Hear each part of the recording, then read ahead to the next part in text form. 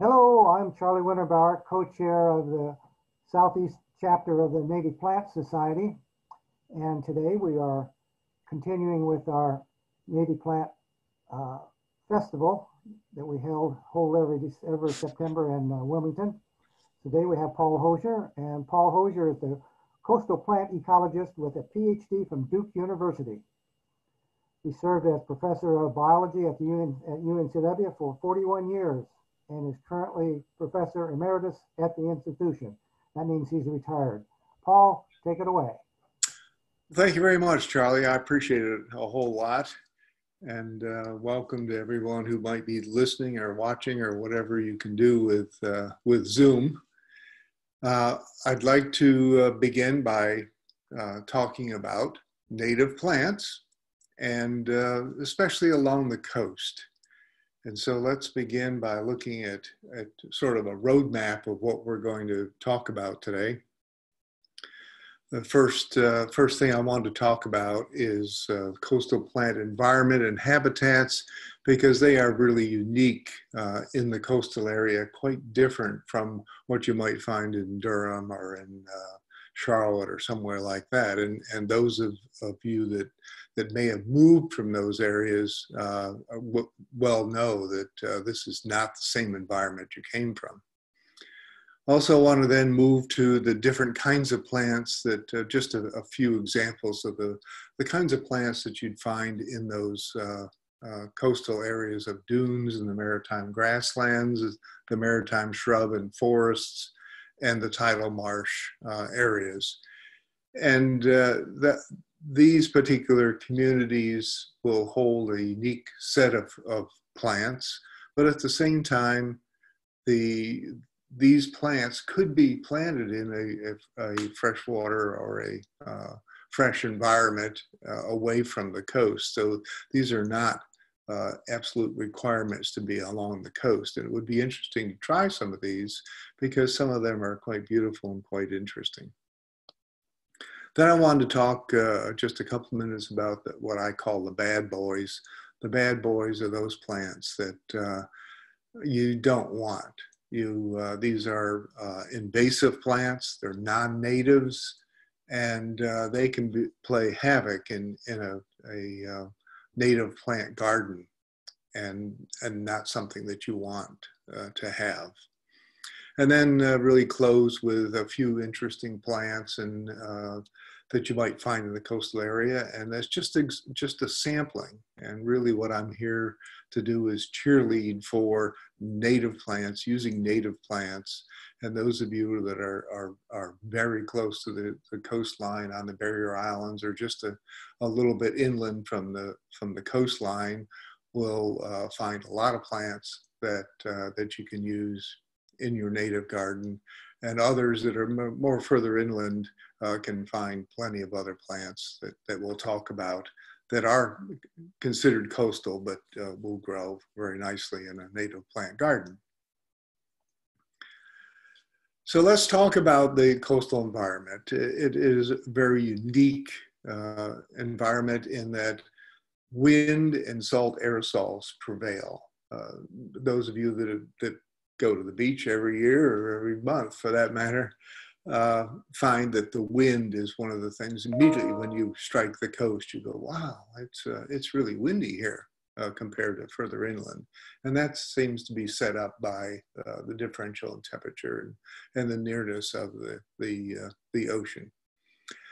And salt aerosols uh, as the ocean waves break on shore you find that the salt aerosols are generated and uh, thrown into the atmosphere. And that really affects the plants in concert with the wind blowing the, the salt aerosols landward that uh, create, uh, for example, that first photograph you see in the upper right-hand corner is uh, uh, a plant that is strongly affected by salt aerosols. And you've seen those along the, uh, the coastline. Another example of, of an environmental factor is, is salt water and the tides. Anytime you're near the shoreline, the chance of salt water and also the tides affecting you uh, is, is very likely. And as a result, uh, the salt water and tides will impact what kinds of plants grow where. Again, familiar with the coastal area, you go there for a suntan to get the full radiance of the, the, the sunlight and the warm temperatures during the summertime, especially, and even year round because the temperature, the coldest temperatures are moderated by uh, the nearness to the large body of water, the ocean. So this is uh, temperature wise and with the amount of radiation uh, received, uh, it affects what kinds of plants can grow there. Soils also, again, those of you that may come from the inland area are familiar with the silts and clay type soils and you come here and start digging in your, your yard and, and uh, area that you're interested in and it's nothing but sand and I mean nothing but sand. It, it's uh, quartz, fine quartz crystals, and quite unlike what you find in the Piedmont or in the mountain areas. And so soils, the, the ability to survive in these soils is very important. And those plants that we find along the coast are well adapted to that soil because the water content is usually quite low with it very near the surface and then gradually gets uh, wetter as you as you dig down into the soil. And nutrients, same situation. Nutrients usually are tied to uh, clay micelles and that sort of thing that are on uh, silty and clay soils. In sandy soils, the nutrients go right on through uh, the soil and, and down to, to the water table and are really not available for, for in large quantities or for very long uh, when, uh, when you're in the coastal area. Naturally, when you think of the coastline, especially in the last 20 years or so, you think of storms. And when I say storms, I am talking about hurricanes, but I'm also talking about uh, winter storms, the nor'easters, and they can have a really significant impact because they're much more frequent. They're not nearly as intense, but they are frequent. One intense storm like that, uh, if you can look at the history books, so to speak, the storm in March of 1962 that hit the Outer Banks, that was a huge nor'easter, March being in the wintertime.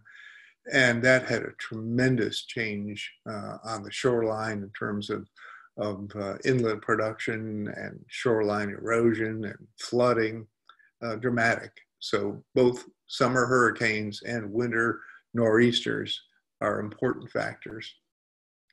And then finally, you can see uh, the bottom photograph there, uh, human development, any kind of development. You look at a place like Wrightsville Beach or uh, Oak Island, and you know, it's almost wall to wall human development in, in some of these areas.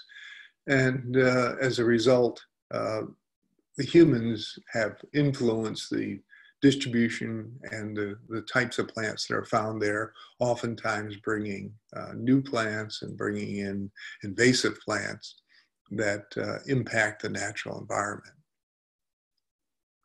So that's the setup, so to speak, for what we'll talk about or background to the coastal environmental factors. So beginning with the dune systems, this slide depicts the five major plants that we find in uh, eastern, southeastern North Carolina. And uh, these will be plants that are extremely well adapted to moving sand. You'll notice immediately that four of these are grasses. The grasses are usually uh, plants that can tolerate uh, sand burial. And sea oats and American beach grass are, are two great examples. American beach grass is common uh, in the northern part of North Carolina on the Outer Banks and really uh, peters out in terms of its natural distribution at Cape Hatteras. And sea oats usually picks up about that same point and, and goes all the way down to the shorelines along Florida, the Gulf Coast, and into Mexico for that matter. These, uh, these particular plant species, along with panic grass and, and salt meadow cordgrass and sea elder, uh, are uh, plants that the more you bury them, the faster they grow. And so they're uniquely adapted to constructing dunes. So as the sand is blown off the intertidal zone, that is the, the part of the beach or the, the upper beach where you lay out your blanket or you see the tides coming in and out, when that sand becomes uh, open and dried, the winds pick up uh, the sand and carry it onshore, usually with onshore winds, carry it and build up these dune systems. And the, the plants are essentially what traps that sand and, and begins to build the dunes.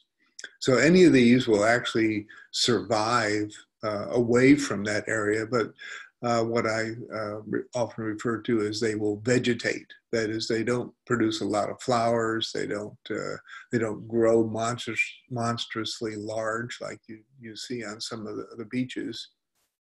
But you can get sea oats, for example, to grow in a in a native garden in, uh, in downtown Wilmington, for that matter.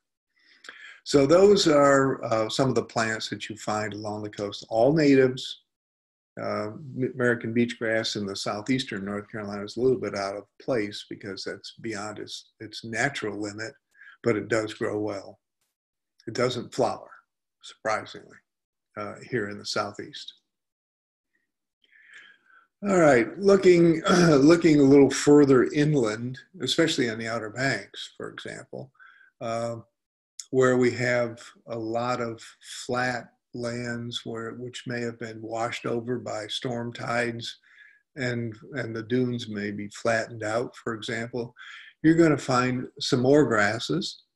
The dune hairgrass field lovegrass salt meadow cordgrass and uh, the broom sedge.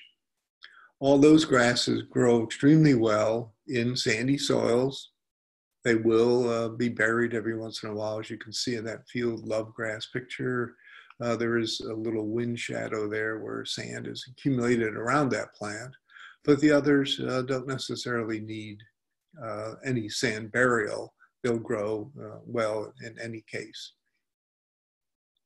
And then you have some broadleaf plants, and these are a couple examples, seaside uh, goldenrod and uh, wax myrtle. Both of those plants grow nicely in these flat areas. They've got generally deep roots. Uh, oftentimes the, do, the roots not only are, are deep, but they're, they're wide spreading. And so they're able to, to accumulate water uh, with the rains. And even though after the sands dry, that they, they may have uh, uh, deep, deeper roots that will tra- tap some of the water that's below the surface of the sand. So these plants are all, again, plants that have beautiful flowering structures. Look at the maritime bushy broom sedge. And I'm looking out the window. As I look out the window at my own house, I've got maritime bushy broom sedge. It's not quite in the flowering stage yet. Another uh, 10, 12 days, it'll start to be flowering. Uh, and uh, this forms a beautiful uh, area where you've got uh, several of these planted. You get a beautiful structure uh, to the plants. And so this particular plant, uh, I love it since I've got it here in the yard because in the in the springtime it's one of the earliest grasses to come out and uh, it will be green much of the summer. It grows sometimes very tall, five or six feet, and then puts out that flowering head in late September, early October. After the seeds are dispersed, it turns a real uh, tawny brown color, a gray, almost uh, deerskin color. And uh, as the winter uh, comes on, uh, the entire plant turns that color. And it, it gives a different contrast to some of the evergreen plants, say here along the coast, that, uh, that are evergreen all year long. and that makes a nice contrast both in color and in texture.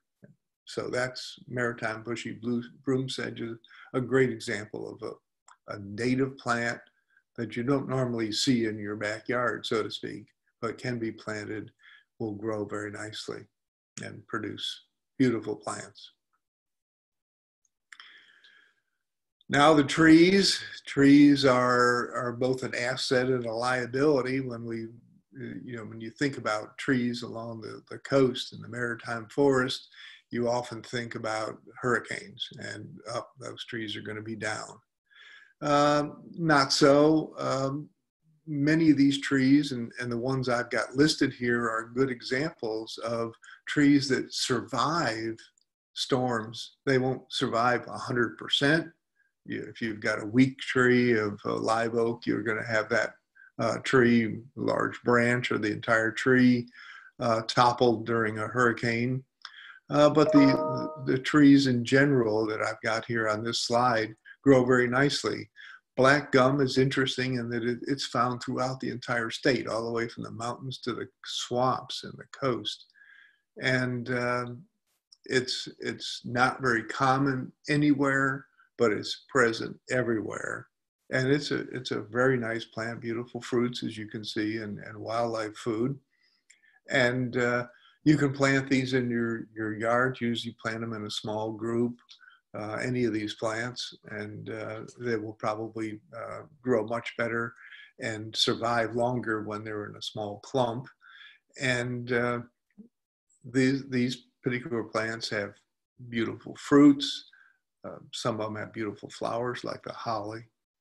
And they will provide food. You can see that the holly would have seeds that would be available for uh, birds and other uh, organisms, as well as the black gum, which has, has some nice fruits. And obviously the, the oaks have acorns, which would be feeding the squirrels and other kinds of wildlife, little mice and rats that run around in the, the understory.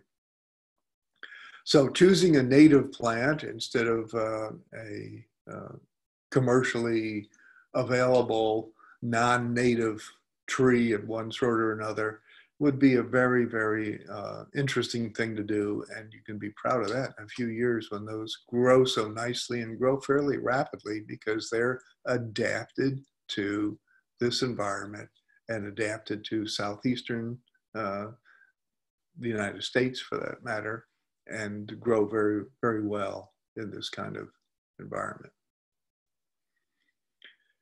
Another one you're probably quite familiar with is uh, almost an iconic uh, kind of, of, plant, the cabbage palmetto.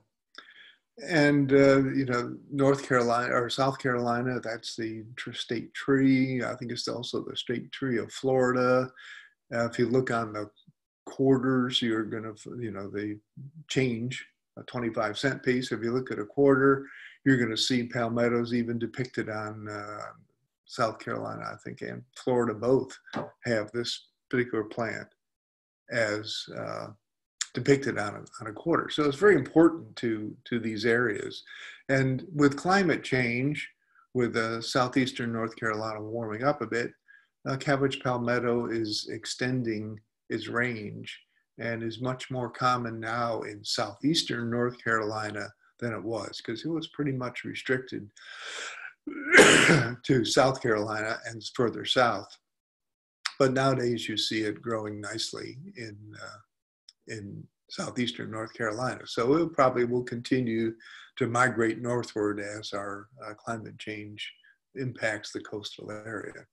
But this, this particular tree can literally be almost uh, blown where the, the, the, uh, the tops of the trees touch the ground and just snap back into place after it's, it's uh, the storm has passed.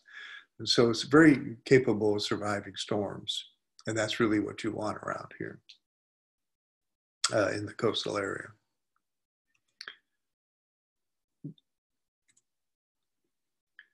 One you might not think of, and that's why I thought I'd, I'd depict it here, uh, is persimmon persimmons are really, really well adapted to the coastal area. They, they can survive a little bit of, of salt uh, uh, spray and they love sandy soils. And when you've got nothing but pure sand and you've got a hot, sandy, open area, uh, the persimmons grow very, very nicely. And the flowers there are depicted in the lower right. So at certain times of the year, you're going to find flowers on the tree and uh, you know you can remember the native fruits there of the persimmon, which uh, can be eaten when they're fully ripe. And so that's a, an interesting plant. So it provides food for people as well as for, uh, for wildlife, as well as uh, a, a, a, nice pattern of verticality, so to speak, in, uh, in a native garden. Marshes, the tidal marshes, the ones that are generally wet, uh, there's two main species, the smooth cordgrass and the black needle rush. And these species are well adapted to this kind of environment. And for the most part, this is probably where they grow best. You can grow smooth cordgrass. That you could you could take a plant of this and bring it to your common garden, or you could put it in a pot and it will grow, and it will probably even flower. But uh, uh, this particular kind of plant, if you've got, if you are right directly on the coast and you've got a, uh, a bank along the edge of the tidal marsh that's, that's barren or very poorly developed, you can buy uh, these plants and uh, uh, from native gardens and plant them, plant them out into that kind of area and they will grow. So it's a, it's a very nice couple of plants that will give a little diversity to an area that probably is is neglected in many uh, coastal uh, settings in terms of where houses are are constructed because they they don't want to mess with getting down into that marsh but uh, as native plant aficionados here we all want to get our feet dirty and our hands dirty every once in a while and this salt marsh is a great place to do both of those and these plants will, will thrive in that area. So if you're in a specific locale, these are great plants. Another one that I really, really enjoy is sea oxeye. It's, a, it's in the composite family. It looks like a, a daisy. And uh, this particular plant grows very well in the salt marsh. It's a kind of a colonial plant. It has underground rhizomes and will extend. You can take a, a, single plant or a small group of plants and outplant them in uh, along the upper edge or in the, the middle of the tidal marsh if you happen to have one. And uh, it will extend. It will it will gradually increase its its area of coverage, and and during the middle of the summertime, you have essentially a, a daisy-like plant growing uh, in your marsh. And you, again, this is a, a, plant that you could grow in, the, in a freshwater environment or uh, where you have to keep it a little bit wet, not necessarily with salt water, but with, with uh, fresh water, you can grow this plant and uh, it will survive. Now I've talked about uh, the, the dunes, talked about the uh, wetlands, uh, the salt marshes, and I've mentioned the grasslands. I've mentioned uh, salt meadow cordgrass a couple, three times. In fact, three times because it is very adaptable to growing in the dunes where there's plenty of sand burying it. It will grow in the maritime grasslands where there's a lot less sand movement, but it's uh, fairly uh, high and, and, fairly dry. And it will also grow in the upper edge of the tidal marsh. So here's a plant that uh, if you need plant coverage or you would like to, to have a display of grasses, uh, this will grow in, in many different kinds of habitats. And I just wanted to highlight the salt meadow cordgrass as being so adaptive uh, to, or adapted to many different coastal environments that you can really find at several locations. And then some other tidal marsh plants that, that would add some color, as I mentioned at, at the beginning of talking about uh, the marshes, the tidal marshes. They're fairly monotonous with a couple of species, but there are also little bits of color here and there.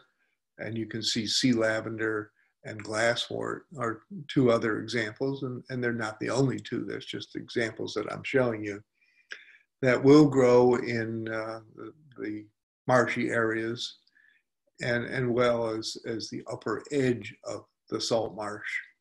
And so you can provide some diversity, some uh, opportunity for uh, insects to uh, to pollinate and and just enjoy the color changes that you see in dwarf glasswort over the uh, the year.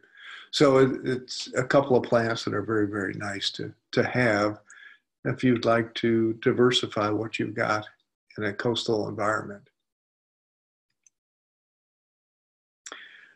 Okay, so um, you've seen a number of, of coastal plants, and this is that's just a, a smattering. That's just the uh, the upper layer, so to speak, of, of the kind of plants you can find in the coastal area. But people said, those are not enough. I want something else. And so they've invited beach vitex, for example, into uh, the coastal area. It actually was uh, brought to United States from, uh, from the Pacific, the Western Pacific Ocean, uh, Japan, China, Korea, in that area. And these plants were brought over ostensibly to stabilize the dunes. And really, it was Hurricane Hugo that stimulated this back in 1989. And uh, they brought these plants in. Beautiful plants, as you can see, they, they've got a nice uh, wide green leaf. They've got beautiful purple flowers and even the fruits are interesting. There's little uh, structures that, that are in a clump uh, on a fruiting stalk. And it worked really, really well. I mean, really well. I mean, really well. Within a few years, where they initially planted this on dunes that had been disturbed, it took over it eliminated everything. It was a solid dune of beach vitex. So people were a little concerned that this, although it's, it's very beautiful and, and it's got some texture and structure to it, um, it, it was concerning. The issue was brought to a head when it started growing off the dune off the dune on the front side down into the upper edge of the beach. It would grow right off the dune and, and move oceanward. That's when the turtle people got into it. And they said, you better get this plant off the beach because this is where our turtles nest, right at the base of the dunes, and they can't dig in this hole because they're used to their holes for depositing their eggs because they're used to an open beach where there is no vegetation. So immediately there was work uh, to be done to take care of this plant. And there have been task force in both North Carolina, South Carolina, and probably elsewhere that have fought this plant for, for a number of years now and been quite successful at it. And it, it it is most uh, offensive near the ocean. And as you get further back, the plant gets a little better behaved. So they're looking for it constantly with task force out walking the beach, looking for uh, growths of this plant and ripping them up as best they can. It's hard to get rid of, so it's got to be constant. So that's one of our, our nasty little friends. Bad news. Phragmites, many of you are familiar with this along the uh, brackish water, even almost into freshwater environments. Uh, along the coastal area, it, this particular plant grows oh, anywhere from 10 to 15 feet tall. And you can see it's got a huge flowering head, so it, it spreads easily. It must germinate like mad. And uh, it also, each plant extends itself each year. It's a perennial and has an underground rhizome, so it extends further and further. And it is so dense in many places that even the, the animals, little mice or uh, raccoons or whatever that might go in this area either for shelter or habitat of some sort or looking for food, uh, have abandoned it. And it, it's not productive at all. You see the red-winged blackbird sitting in the top of the the, uh, the plant looking for, uh, for something to do. But other than that, uh, this is really not useful at all for wildlife. And as I say, it, it, it gradually takes over wetlands. And when it does, it displaces everything, just like uh, the previous plant. It will displace all the native plants. So another no-no. Another one that's more of a, a, a no-no uh, as a result of, of its presence is the thorny Elaeagnus. And this is a plant that when you uh, put it in the ground, it, it's a cute little plant, but it quickly gets out of control. It's ugly, as you can see in that lower left-hand uh, photo. It really is quite ugly looking plant if it's not maintained at all. And you can see a two-story building there that, that, that is eventually going to have uh, no views if, uh, if they let this particular plant continue to grow. So this is an especially bad one. Uh, the birds love the fruits, as you can see. There's some nice, attractive, juicy fruits there. But uh, one of the things they do is they love those fruits. They eat the fruits and then they poop the fruit seeds. And as a result, the birds are responsible for spreading this. So it winds up in places where you don't want it. So the th thorny Elaeagnus is an example of several species of Elaeagnus that have been imported uh, that are not attractive. So we'll look at one more, uh, the Chinese tallow. This is a plant, if we're talking about southeastern North Carolina, this, this was not a big deal. Uh, I know and uh, I've done research in the coastal area for going on uh, over 50 years now. And uh, this was not present in southeastern North Carolina for a long time, nor was Phragmites for that matter. But it has been uh, introduced and is really finding its home here. Again, it was invited in as an ornamental. It's got a, a beautiful interesting flower structure there on the lower right. The fruits are interesting. It's called the popcorn tree, and you can see why it's with the, the three white fruits on it uh, in, a, in a large head. Uh, it makes for an interesting plant, but it is, once it gets into a wetland area, it just reproduces like hell. And as you note here, I've got written uh, the plant reproduces when it's three years old. Most trees, oh, 15 years, 20 years, 25 years before you see the first fruits of, of a, uh, a tree, like a hickory. But here, uh, this plant immediately begins to flower and fruit and reproduce. And as a result, it, it spreads very, very rapidly. And it's very, very difficult to get rid of. So if you see that triangular shaped leaf begin to appear anywhere around your uh, property, you want to uh, to get rid of that plant, pull it up and and uh, keep checking to make sure it doesn't reappear and get rid of it as fast as you can.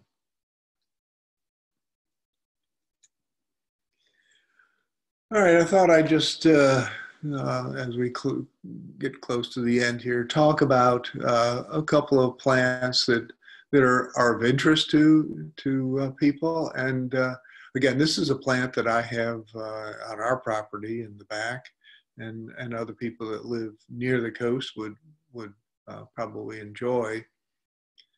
This is a large dandelion. This is this plant again is in the Asteraceae, and, and it's it's almost tree size it's a fairly rapid grower. So you could plant it uh, in an area, it will grow up and, and be 15 or 20 feet tall in just a few years.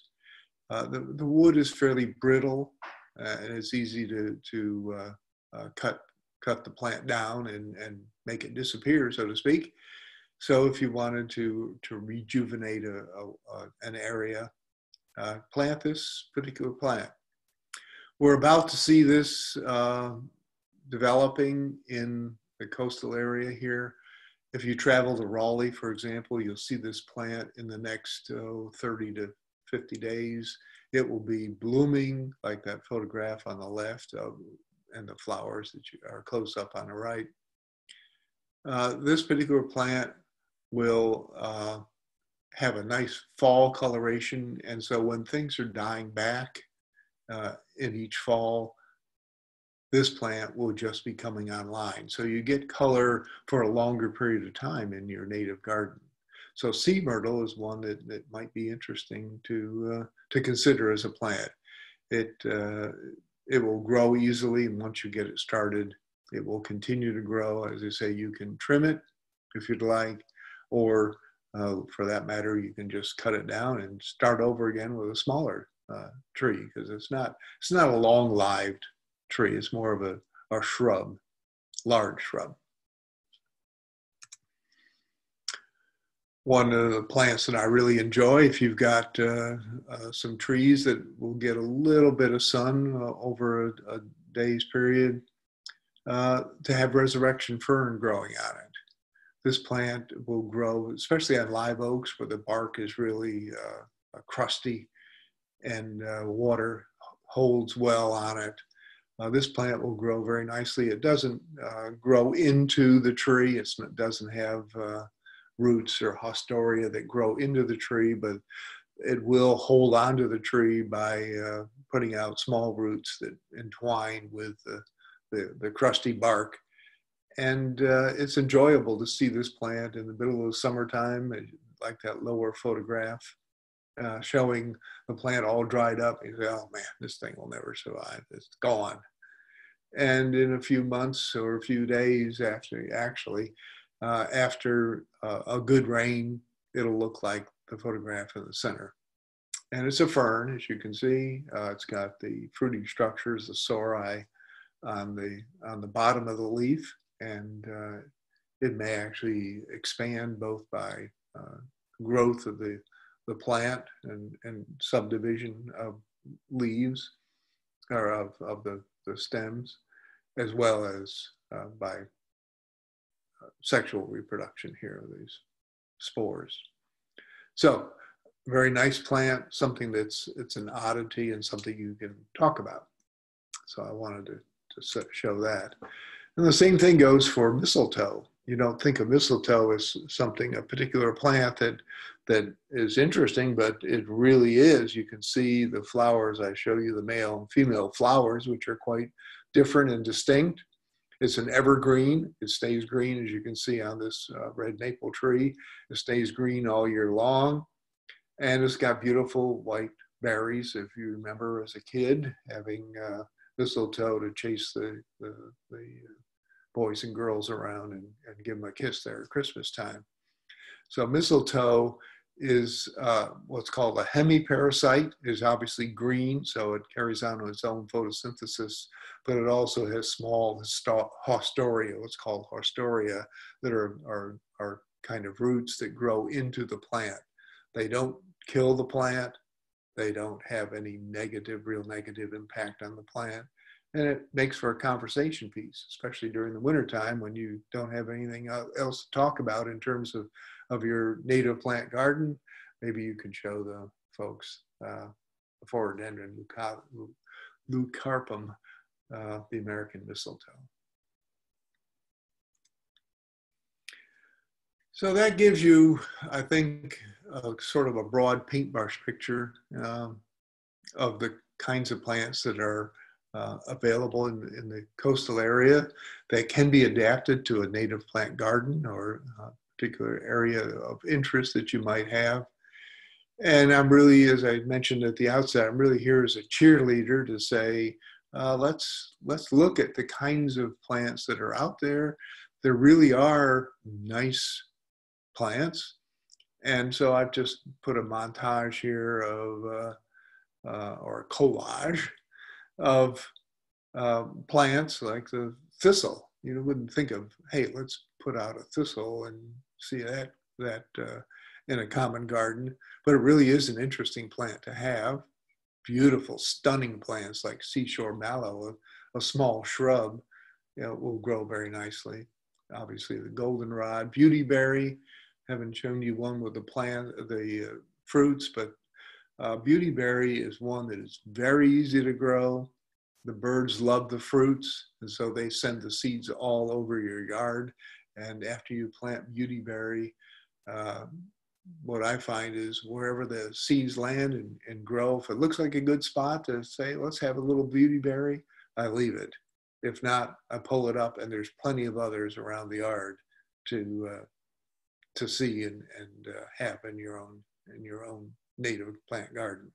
Obviously, Spanish dagger there too.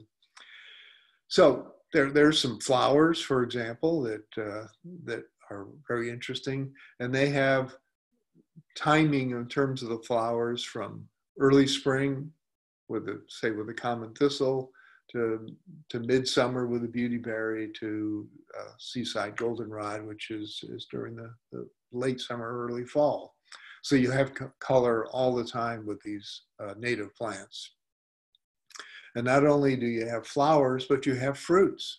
Uh, here's the beautyberry fruit. You can see a beautiful mauve, purplish color.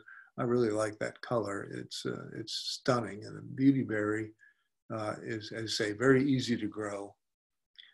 Flowering dogwood, we have dogwoods in the yard that, uh, that are very nice.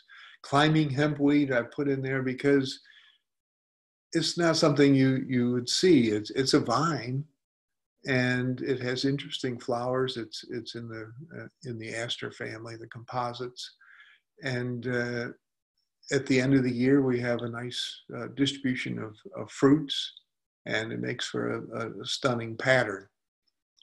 Prickly pear cactus, purple passion flower. Uh, you're probably familiar with those, and they have uh, very attractive and interesting fruits. But again, uh, as you're building up a, a uh, an area of native plants gives you a, a, different textures, different colors, and, and makes it for a very interesting backyard or front yard or side yard or wherever yard. All right, so just to, to, to kind of bring this to a close, what we've seen here, and sort of capturing what we've said, uh, the coastal native plants grow in, in a variety of sizes, shapes that we've seen. They're well adapted, so they grow nicely in the coastal habitat. They're, we've seen colorful ones, we've seen useful ones. These are uh, the, what native plants do for us. And also caution you that, that the bad apples, the bad guys, uh, we want to get rid of those. So as, as best we can, as soon as you can replace them, get rid of them and replace them with natives, uh, everybody will be a lot happier, including your neighbors, probably because most of these bad apples uh, spread very easily and take hold. And if you turn your back on them, they will take over. All right, so the last bit of advice I might have is is you know where where do you put these plants? Which which ones are you going to use? And these are just some guidelines here by consulting your professionals. The master gardeners are a great resource to provide information. The Sea Grant program does does the same as well as the North Carolina Coastal Federation and uh, get on your phone, take a look at uh, what's available, and uh, see what information you can you can gain, what plants are most successful. And uh, the last bit of, of information would be watch out what you ask for because when you begin planting these plants that may be pollinated, be pollinated by native uh, insects, or fed upon by the insects or insect larvae and the birds, the mammals, small mammals, and, and deer, and all that. So they all come with bringing in the native plants. Uh, many yards are sterile because the, the deer don't recognize any of those plants. And they go, well, let's go next door where I know what some of these plants are and we'll have a good meal. Uh, so you you do want to have native plants, but you also uh, get some of the native animals. And that, uh, that in itself is an attraction, so to speak, because you begin to see butterflies and uh, birds and, and little animal, little creatures of one sort or another that you, you have not seen before because you didn't have the native plants in abundance like you would uh, if you uh, focused on those. So with that, I'll say thank you very much for joining me for the length of time that we've had here today. I hope that uh, you've got something interesting out of that. And again, I'll turn the meeting back to Charley. Thank you, Paul. One thing I want to close with, I don't know if you can see it on the on the video or not, but I can name it.